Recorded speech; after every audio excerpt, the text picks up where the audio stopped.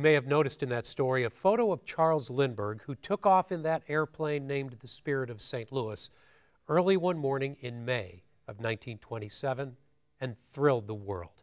My dad said when he was a kid, when they saw an airplane overhead, which wasn't all that often back then, they'd say, There goes Lucky Lindy. What he did was an achievement of planning, design, engineering, guts, and luck, and he ushered in a new era of technology and celebrity. This is a story that has long fascinated me, so when his daughter Reeve Lindbergh visited St. Louis a few years ago, I jumped at the chance to hear what she had to say about the man and the flight. The kind of public and private life is, is, is one you have to constantly work with in a family like mine. You know, what belongs to me and, and, and what may I and can I share with, with the world.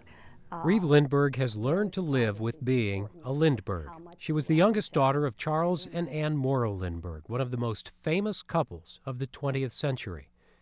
Reeve Lindbergh, who lives in Vermont, came to St. Louis in early 2005 as the guest of the Lindbergh School District, named, of course, for her father.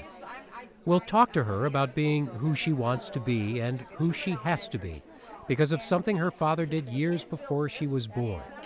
And it changed so many things, some in ways he never imagined and some in ways he never wanted. People have asked me, do you think he would have done it knowing what would, would have come after? Hard to tell.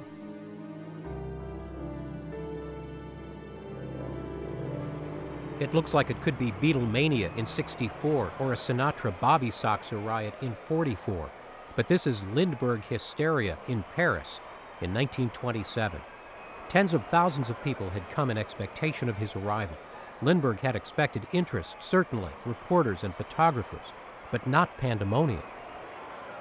He had to almost be protected from the crowd. So and people were taking pieces off his plane and uh, some were trying to get clips off his, his clothing. Lindbergh had thought he'd give a few interviews in Paris, show some people his plane, buy a toothbrush and a change of clothes, and maybe be a tourist for a couple of days. What happened was beyond anything he could have imagined. Because, in a way, he didn't even know himself what he had done. The whole event of the flight is bigger than the person. He was perfectly cast for the role of hero. Young, good looking, a man with roots in America's pioneering past, leading us into a new technological frontier. He would continue to be one of the most important figures in early aviation, but his life would be tumultuous, tragic, and controversial. But in 1927, he was, at this moment in history, the right man at the right time. He was not quite the simple Minnesota farm boy he was made out to be. His mother was a chemistry teacher, his father a lawyer and U.S. congressman, and Lindbergh had spent time in Washington, D.C. and Detroit as well as the family farm. He had dropped out of engineering school to fly and became a barnstormer, which was about all a pilot could do. Fly around to cities and towns putting on air shows, making parachute jumps, walking out on the wings in mid flight. Then you'd make money selling rides and giving lessons. Like a lot of aviators in the Midwest, Lindbergh eventually made his way to St. Louis. He came to see the big air races here in 1923 and hooked up with the barnstorming troupe that flew around the Midwest. When the government began awarding contracts to private companies to carry the mail, Lindbergh was hired by St. Louis's Robertson Aircraft Company as its chief pilot on the St. Louis to Chicago route.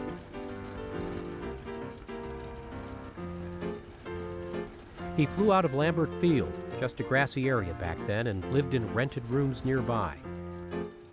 There was at the flying field something of a boys' club, locker room atmosphere, and Lindbergh had a reputation as a practical joker. A fellow pilot remembered him putting kerosene in a bucket of drinking water, another time running an electrical wire to a metal bench. When they're all sitting there comfortably while he cranked the booster, and they jump with a shock of course, they chased him around too because he did that. But he was a lot of fun in that respect. But Lindbergh also had a reputation as a good, sharp pilot. And it was during his many hours flying the airmail route, somewhere around Peoria, he said, that he first thought about trying to win the Orteig Prize, $25,000 offered for the first nonstop flight between New York and Paris. It was a flight that created numerous challenges, including the basic problem of simply finding your way. Lindbergh had no experience in air navigation other than what he had gained on the airmail routes. But over water, he was going to be faced with an entirely different type of navigation, uh, again known as dead reckoning, where he would fly time to evaluate and speed to evaluate distance, and he would use a very rudimentary magnetic compass in order to tell direction. But Lindbergh convinced a few key downtown businessmen that he could do this, and they invested the money to buy the plane, gambled really on something that could be a huge boost to aviation and to St. Louis, if he could do it, and if he could do it first. He was able to get the Spirit of St. Louis built by the small Ryan Aircraft Company in San Diego when bigger companies shied away from putting their good names into the hands of an unknown Midwestern airmail pilot. Lindbergh flew the brand new plane to St. Louis on his way to New York to show it to his backers. There he is with banker and Chamber of Commerce President Harold Bixby. He had spearheaded the fundraising and suggested the name for the plane. Another backer is Albert Bond Lambert. This was his airport. As important as their money was, was their decision to trust Lindbergh and his plan for a solo flight with a single engine plane, which seemed to go against all common sense. The thinking was you'd want one of those new three engine planes to go non stop across the ocean, and trimotors would become the standard for early passenger service. But Lindbergh explained that if an engine quit somewhere over the ocean, he couldn't complete the trip to Paris. He could only circle around hoping to find a ship to crash near. Three engines, he figured, three times the chance for failure, and these big planes were too expensive anyway. People also figured you'd need at least two people on this expected 40 hour flight. A second man would navigate and take over flying when the other pilot was resting.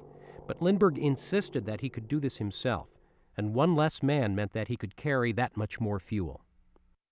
Everything was the ultimate of simplification. He didn't have a lot of instrumentation. Uh, there weren't a lot of uh, other systems or components in the airplane. Uh, it was the basic rudiments of flight. The risks were very real. Attempts by two other teams, French and American, had already ended in tragedy when their planes, heavily loaded with the fuel needed for the long nonstop flight, crashed on takeoff.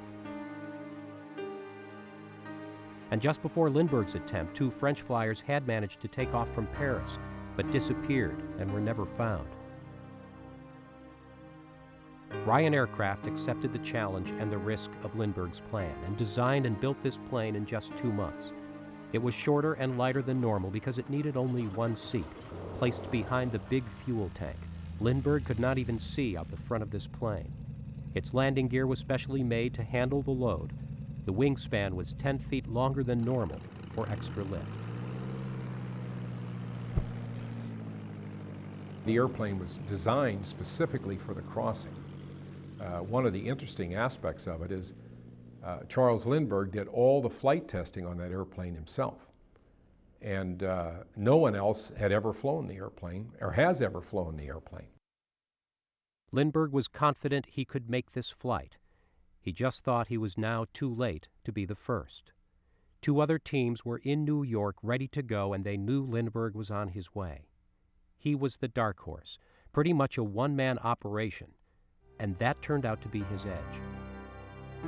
All three teams got the same report of clearing weather, but on the morning of May 20th, 1927, only the Spirit of St. Louis was being rolled out to the airstrip. One team's mechanics were insisting on more test flights, and the other team's pilots were feuding and had gone to court. Lindbergh's backers were still in St. Louis. Their advice when you're ready, go ahead. For the first time this morning, the Spirit of St. Louis's fuel tanks would be filled to capacity. Lindbergh knew, in theory, it could take off fully fueled. It's just that he'd never actually tried it. And this morning, the wind wasn't quite right. The grassy landing strip was still wet, softer and slower than he would have liked. Lindbergh himself had hardly gotten any sleep the night before. But his years as a barnstormer and airmail pilot had taught him to weigh the risks and trust his judgment. And he knew if you waited for everything to be perfect, you might never take off. And he nearly didn't make it.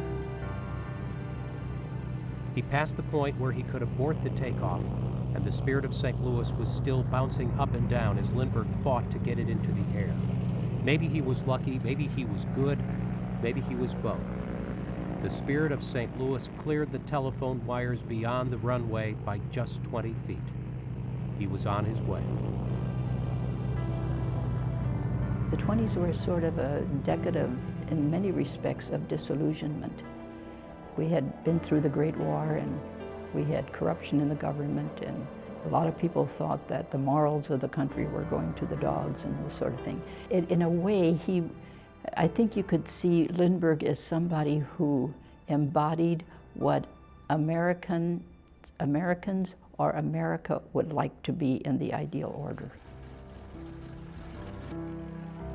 He had thrilled and inspired and amazed the world, but not himself.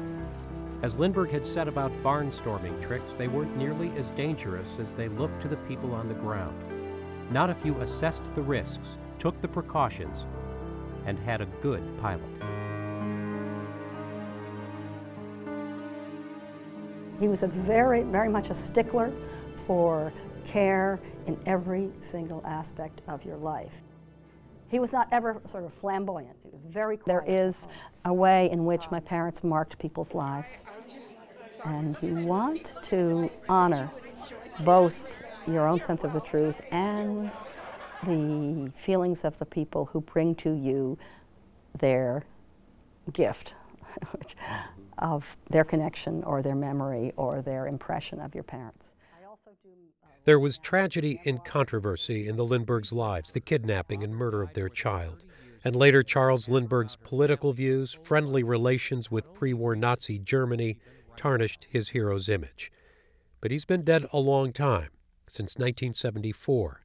Where do you think, uh, how will they survive, uh, both as, as your mother as a writer, I would think, and your father as, well, I can only say Charles Lindbergh, because Yeah. there really isn't anyone you know I can compare him to. There's something about the story uh, of the two of them, about his, his role in that incredible burgeoning of aviation, whatever else he was or, or did will be part of it.